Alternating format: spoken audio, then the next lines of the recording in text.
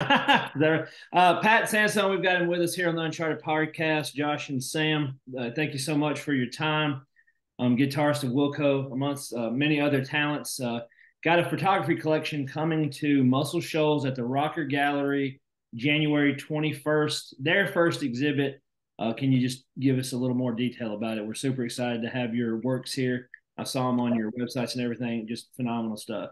Oh, thank you. Well, um, yeah, Alan was kind enough to invite me to be the the uh, the first exhibitor in his new gallery that he's opening, uh, the Rocker Gallery down in downtown Sheffield, and um, yeah, he had seen. I guess he had seen some of my work, uh, well, online, and uh, he had also seen some of my prints uh, at our friend uh, Savannah Yarborough's uh, shop in in L.A. called mm-hmm. uh, Savas. It's beautiful, a beautiful boutique there, and um, and she was showing some of my work in her in her store in Hollywood uh, last year, and he saw that work there and uh, and ran into him uh, sometime earlier this year, and he told me about this project that he was doing that he was opening this gallery yeah. And uh, asked me if I wanted to show some work there. And I said, sure. Yeah, I really enjoy it. And I saw somebody described it as uh, your work as uh, like a road trip uh, we might not have taken. So my question leading into that is like, like when you're on tour and everything, I know you know you can see the regular stuff, but do you like deliberately sort out like off the beaten path stuff that people wouldn't normally take a second glance at? I mean, I think that's what happens. Yeah, it's it's um, and it's not really, it's not so much a a a, a conscious effort to do it, you know, to to look for the things that nobody else sees. But I I just personally like to get into a mode where I'm by myself. I'm just kind of wandering aimlessly and exploring, and just kind of letting my eye go where it goes without a whole lot of without a whole lot of judgment about it or a whole lot of um, uh, conscious uh, you know sort of like direction. I kind of like to get into a state of a state a creative state of mind where i'm just sort of letting letting it happen let my eye go wherever it wants to go. And you know i certainly see patterns in like the kinds of things that i end up shooting and obviously I'm drawn to certain things and and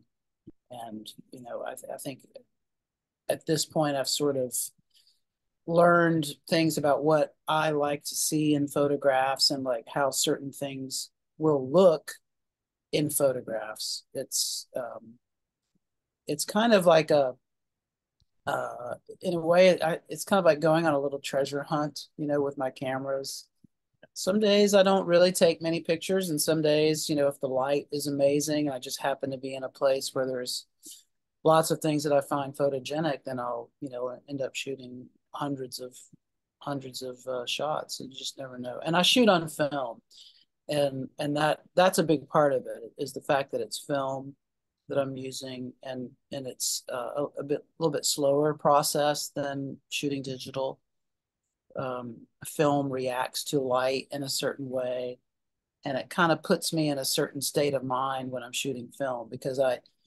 i don't you know i can't look at a screen and see what i've just yeah. shot and edit it on the fly yeah. and delete it if i don't like it i'm just kind of have to give myself over to the fact that i'm not going to see this image that i'm shooting for maybe weeks you know until i get it back from the lab so there's something nice about that too it's kind of like a uh, it's almost kind of like meditation for me, you know, slowing down, letting go of some control and um, and and just allowing myself to be surprised, you know, by things.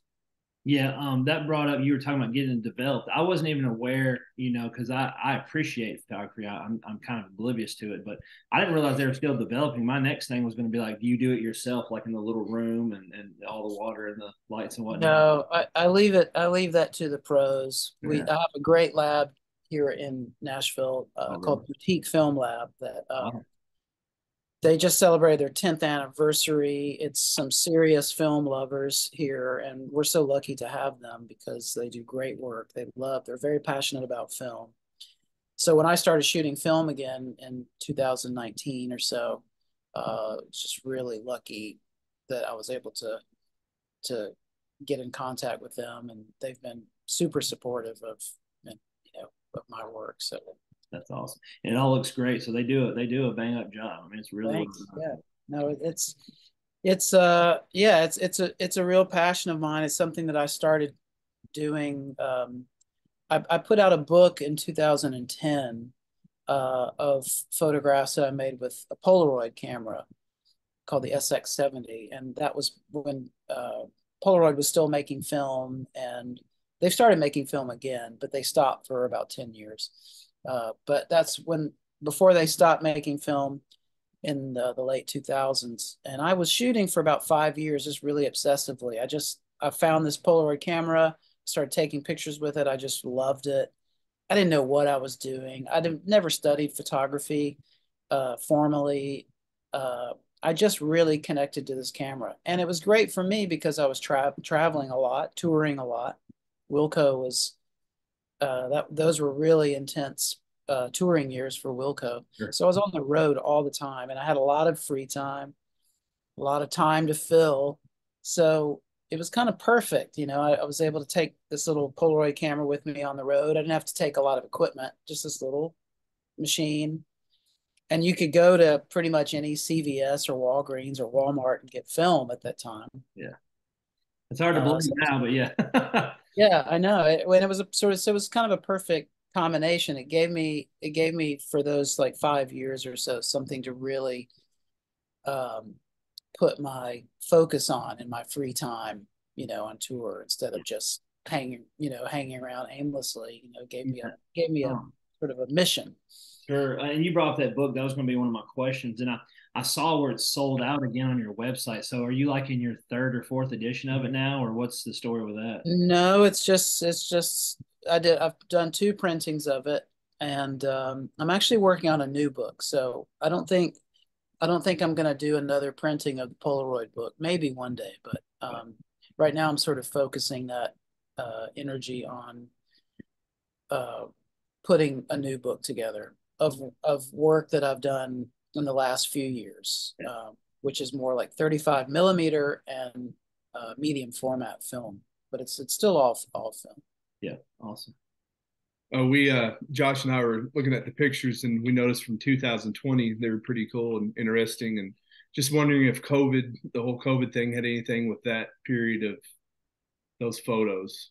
Definitely. Oh, yeah. definitely. Yeah. I mean, it was. Um, you know, I don't. Uh, you know, they're not specifically about lockdown or about COVID. You know, it, it wasn't I wasn't necessarily specifically trying to make a document of what life is like during lockdown, but um, but it but that tone mm-hmm.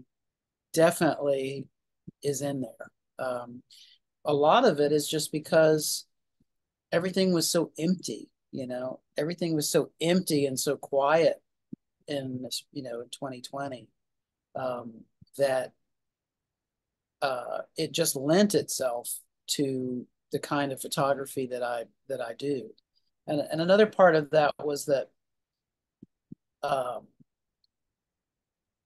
I, I really I hadn't been taking photographs after making the Polaroid book. I hadn't taken been doing film photography for maybe eight years or something. I was still taking thousands of photos with my right phone and know, and I was starting to collect photography books and starting to learn more about photographers. Because when I was doing the Polaroid work, I really was pretty naive about about photographer, you know, about the history of art photography. I was just doing it because I dug it, you know. Sure, it's just yeah for fun, a release. And I, yeah, and it just brought me a lot of you know joy. So when when the um after I put my book out, I kind of started to look a little more seriously at other at, at past photographers, and I and I kind of got my mind blown. It's like, oh my God, there's this whole world, this whole history that I don't really know that much about. So I started kind of put the cameras down for a bit and started looking at work, like started started uh, collecting photography books and figuring out who my people, you know, who my some of my favorites are, and learning about about about photographers. And then I came back to I, I got the bug to start shooting again right around the end of 2019 and I just I bought a couple of new cameras and just I had this feeling that I wanted to start making photography again. Uh, and just as I kind of started doing that, then COVID happened. Yeah. And you know, Wilco gets pulled off the road. Everything's so uncertain. We don't know what's going to happen. Everything is, you know, you guys remember it was like such a weird time. Yeah. The other part of it was that my dad had had a stroke at the end of 2019, right around Christmas. Yeah. And uh, and when that happened, I f- found myself driving a lot, going driving down to Mississippi where he was living, uh, where he was in the hospital when he first had the stroke, and um, and then also when he ended up moving to Atlanta. So I was driving a lot between Nashville and Atlanta just to, to help the family and and hang you know yeah. and help him. And so for pretty much all of 2020 into like kind of up until Wilco started touring again in 2021 I was driving back and forth between Nashville and Atlanta every other week and what I did was I decided to use that time as as uh, a creative part of my creative process too. So I would take my cameras. I always had my cameras with me, and I would take the back roads. You know, um, usually coming back. Uh, you know, I would just kind of find a new weird way to come back because I didn't have to be back, you know, in time for anything since we weren't working. So I just had all this free time, and I could just wander like in these uh, you know, in these, you know, find myself in these little towns in Tennessee and Georgia and Mississippi. Yeah. Uh, so it gave, it, yeah, it just gave me a lot of, uh, it gave me a, a, a lot of, of uh, material to draw from. Sure. So a lot of that work from, uh, from 2020 and a lot, like pretty much all the work that's going to be up at Alan's place is stuff from that time period. Cool. Uh, great. Um, yeah, we uh, we saw where um, you also you did a lot in our, our home hometown. Well, was my former hometown, Columbia, Tennessee. I saw you oh. Dixie Motors right across the bridge there, which has been there, you know, forever. The same owner from like the '60s or '50s, and a couple other places. So I thought that was really awesome. You took the time to do that. Um, yeah, well, I yeah I drove. I would drive. I drove over to Columbia a bunch of times. Um, to shoot and just kind of wander around. And uh, there's actually a, a photograph that's going to be in the show from a place called it's called Sue's Alterations. I don't know if you know Sue's, yeah, Sue's yeah. Alteration. Yeah, but it's a it's there's these two dresses, you know, these two mannequins dresses that are in the window, and yeah, and I just I just caught it like right at the end of the day one day, and the light was hitting it in this way that just it looked like a painting to me. Awesome, cool. Yeah, and, right there at the end of the square, right uh, downtown. Is that where you saw it? You know, I, yeah, I I can't really tell you. It's kind of like I feel like it's kind of like on the way out of town. Like, uh, I wish I could tell you exactly where it is. But last time I was there, which was about a year after I took that photograph, those dresses were still in the window exactly as they were. Yeah, so. waiting somebody to pick them up. yeah. Yeah. It's pretty cool that um, just the driving around. You said like just looking for places is part of the uh, artist experiment, you know, just trying to find a new places and see what happens. And, you know, and that's part yeah. of the, the yeah, finding of it. Yeah. yeah, just just the just the kind of like being, you know, and I I I really do feel like the the the process and the kind of like the state of mind that I can sometimes get into when I'm out uh, shooting and and in the in that space is just as important yeah. as the final result, if not more. You know, I mean, getting you know, weeks later when I get the film scans back and I see the results of what I was shooting, uh, that's just extra, you know. It's like the the doing of it is just such a good, you know, I think is a valuable thing. And I just enjoy that state of mind that I get into. It's kind of like, you know, you know, it's kind of like when you're you know if you want to sort of think about it in musical terms it's like when you're when you're jamming with people and you don't necessarily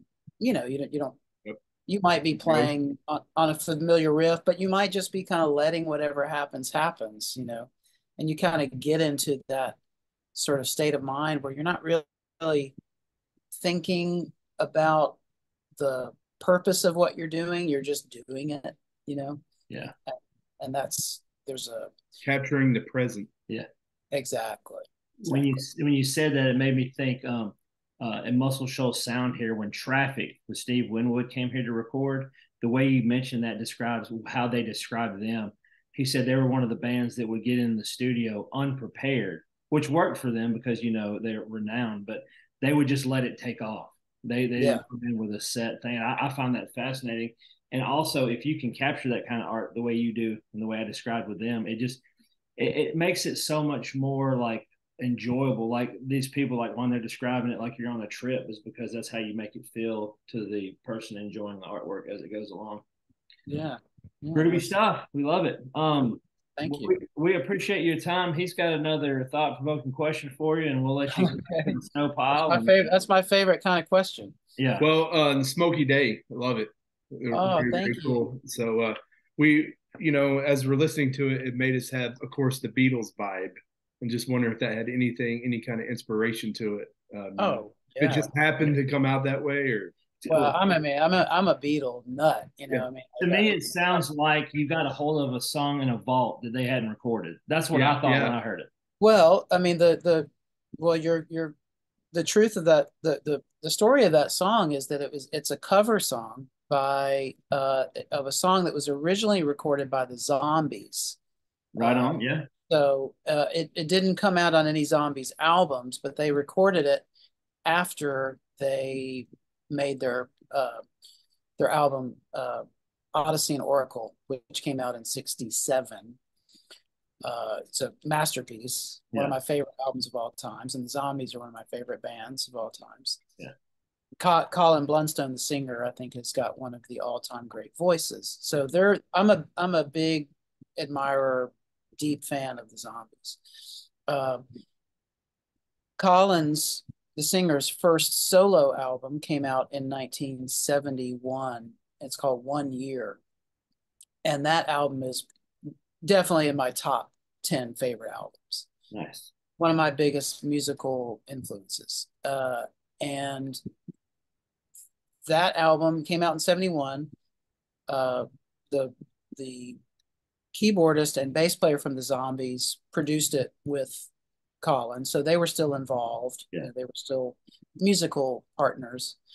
Um, and um, yeah i've just always loved it. And the song that that the song smokey day is on that album.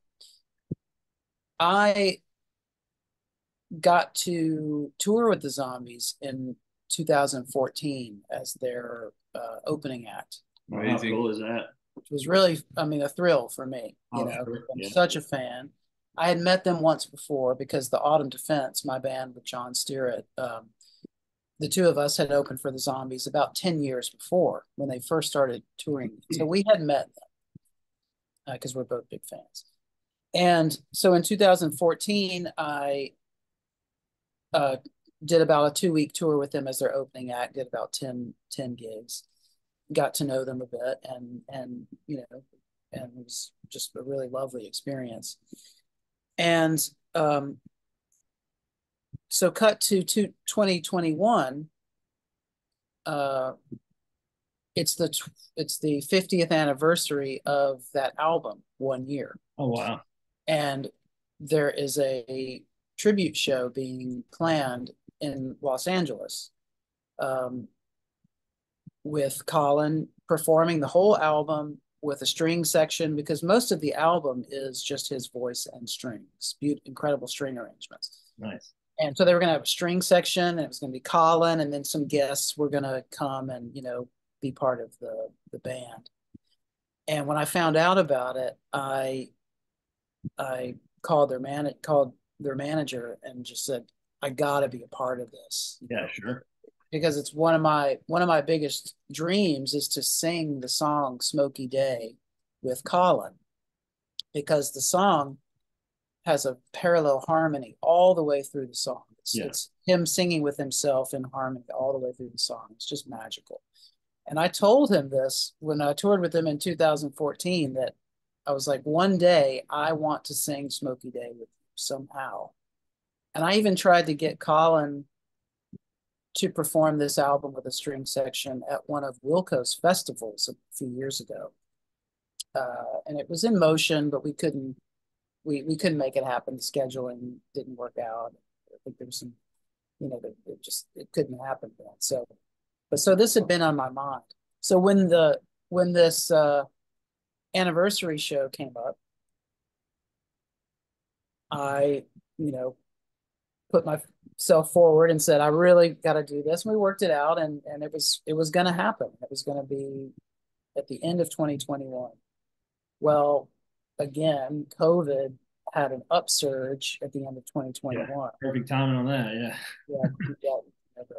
yeah remember which strain that was, but but the show got canceled, uh, unfortunately. But um, I had done a demo or just like a practice version of the song here, right here on this Wurlitzer, um, to just to kind of get familiar with the harmony I was going to sing with him, and also to send to the musical director to say, "Hey, here's me singing the harmony. I got this. yeah. Just so just so they you know know what to expect. Well, your arrangement is very well done. I yeah. mean, well, like, thank you. It, it, it, sounds like you sat in a room with Brian Wilson and Paul McCartney, and you all kind of got together. Uh, since you brought up the zombies, uh, the time of the season, did you ever get to do the do do do? Yeah, oh yeah. You know how Actually, you know like the cowbell for Grim Reaper. I would think that uh would be like your your highlight with them. Actually, I just actually it's funny you asked that because I just performed that song. I, I'd never performed that song, but I just performed it last weekend here in Nashville uh, at the at the Third Man uh, Blue Room. Oh, rock and roll! Yeah. Some friends of mine that my friend Reno that does a, a has a cool band called the Berlinettas that does all '60s cool like '60s covers. So, we, we worked that up. But but yeah, that's how Smokey Day came about. You know, I just took that demo that I did in here on the whirly and my my vocal. And it had been sitting around, and I just thought, you know what, I'm gonna like add some strings to this and add a couple more vocal parts and just you know see what mm-hmm. happens. And then we we were in Iceland last year, and the the landscape was so beautiful there that that I just thought it would be perfect for a, a video. So it just kind of naturally came yeah. about, and I'm I'm really proud of it. I, sure, I would be too. It's well done. It, it, it's uh you know it, it, takes you on a journey, but like I said, as men I heard, I was like, this makes me feel like I'm listening to a song that was supposed to be on Rubber Soul that just didn't. You know, they just shelved it for a while. Well, but, it's well that's a it's a classic album, and if you dig if you dig that vibe, definitely check out Colin's album One Year. It is it's a true masterpiece. Yeah, I'm already I was already shuffling through iTunes to to to dig into it, but um. Anyway, hey, thank you so much for your time, and and to, yeah. you know, it was a pleasure speaking with you, and we're looking forward to seeing your your works up close and personal. And um, if you ever come to the Shoals and play a show, uh, let, us get together and jam one out. He's a guitar and, and I pretend to play drums. So awesome. well, well, you're you're in the right place to to make some music. Like the Shoals is like got such a such a musical, such a musical legacy, and what a great vibe down. There. And every time you turn around, it's like, oh, this guy played with them, and you know, we met Ronnie Eades the other day. and He's played with everybody, and it's just every time you turn, there's somebody that's like makes me feel like I'm trying to go from elementary t-ball to the, the major leagues. You know, it's like, oh, you know, you heard this song by, you know, the Guess Who? Well, he played on it and then he played with it. turn around and with Stevie Ray Vaughan. It's like, okay, that's a lot going yeah. on. Well, I mean, it's like it's like living in Nashville. You know, it's like it's just you know, it's there's inspiration everywhere. So There is. Every time I think I'm good, I just go sit in a room somewhere in here. All right. Another Well, feeling. you have a good one. We appreciate your time, and uh, we'll get this uh, edited and we'll send it to you and do with it as you please. Great. Well, thanks for inviting me. Yeah. Pleasure. Yeah, we'll see you soon. See you, Pat. All right. See you this weekend. All right, brother. Yeah. Yeah, for sure. But don't snow too bad.